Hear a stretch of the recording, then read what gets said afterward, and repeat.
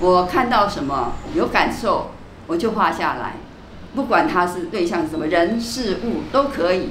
只要让我有一种呃想要去会把它表现出来的这种感感觉的话，那就是我的题材了。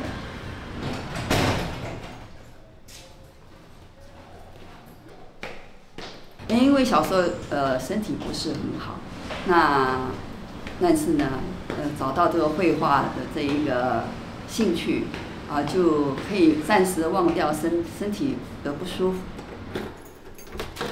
就是在那个画画画的里面寻找到一些的啊快乐，这是我对绘画最原始刚开始的一种动力。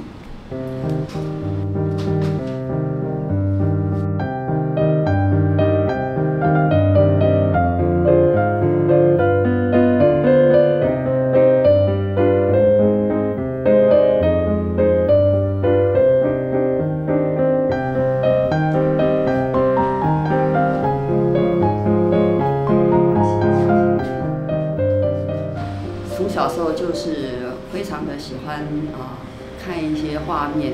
然后不管我抓到什么里拉，或者是一个尖尖角的石头啦，我就可以在这个地面上，或者是墙上，哦、或者是纸上、桌上，甚至于就桌上，呀，我就开始就可以开始画画。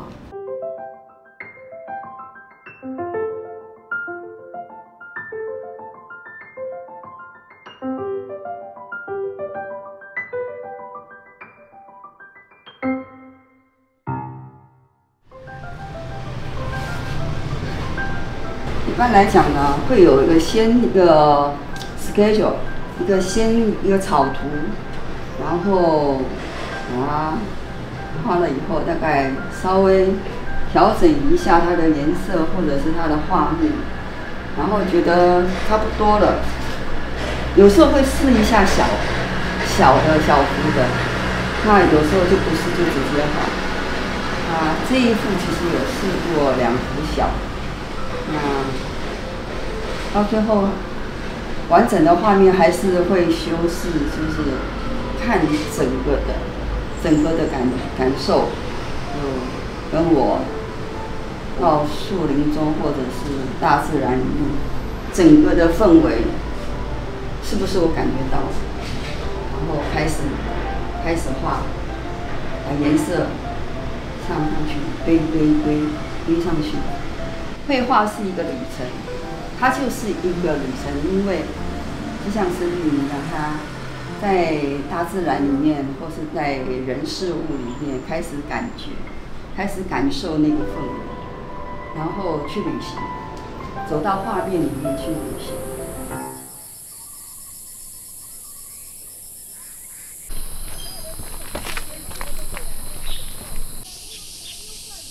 那大自然就是这么漂亮。到哪里，那个有森林、有树的地方就很美。那有时候影子会在地上，有风的时候更漂亮。那个风吹的时候，树叶的声音，还有影子就会交错唱歌，太棒了，真的是很好。我觉得景。只要是大自然的风景，它的影子，它的所创造出来这些造型，都会吸引我。只要是能够吸引我，我就觉得太美了，就把它画起来。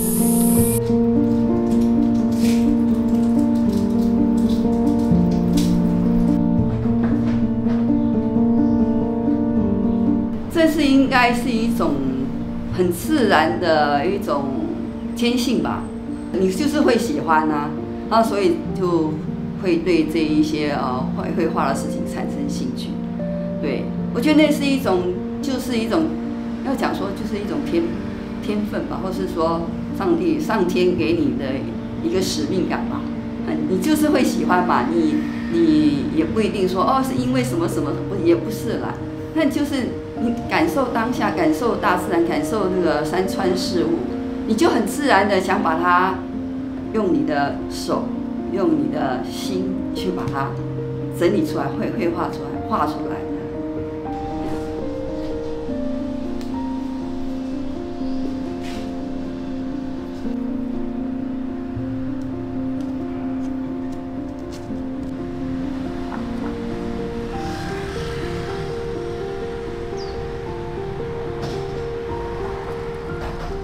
让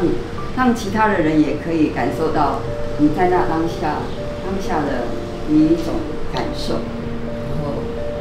让观赏的人可以从这个画面里面跟你的画对话，然后跟他的心对话，那这是一个非常非常美好的啊一种绘画的呃境界。